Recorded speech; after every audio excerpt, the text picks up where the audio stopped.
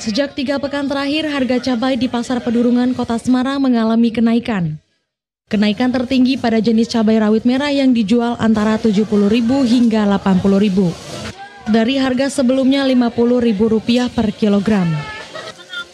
Sementara itu, kentang turun Rp1.000 menjadi Rp20 sampai Rp21.000. Sedangkan tomat turun Rp5.000 menjadi Rp10.000 per kilogram. Salah satu pedagang, Nunung, mengaku kenaikan harga memengaruhi omset penjualan. Untuk dua minggu ini tidak ada kenaikan tuh stabil harganya. Minggu minggu kemarin tuh sempat 80 ribu tuh sempat sekarang 70 ribu. Ya kalau penurunan ya pasti karena bahan baku mahal itu kan, jadi pembelinya sedikit. Harapannya apa bahan bakunya dikurangi harganya biar masyarakat bisa membeli dengan terjangkau gitu. Dampak kenaikan harga cabai dirasakan cukup menyulitkan pembeli dan para pelaku usaha makanan. Mereka harus menyiasati pengeluaran untuk kebutuhan harian. Cabai juga agak, sebenarnya agak mahal cabai setan itu loh mbak. Yang agak mahal, kalau cabai merahnya besar itu kayaknya biasa aja lah, nggak terlalu mahal juga.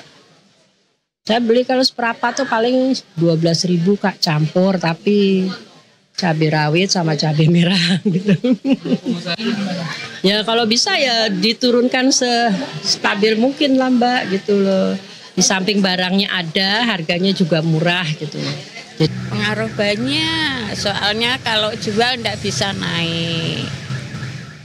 Kalau jualan naik terus kan ikut naik kan nanti kan ya pembelinya berkurang toh mbak.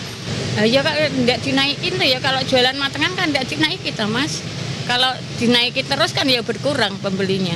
Harapannya ya bisa stabil Mas. Para pedagang berharap kondisi segera stabil agar mendukung keberlangsungan usaha mereka dan meringankan konsumen. Disa dan Bagas, TPRI Jawa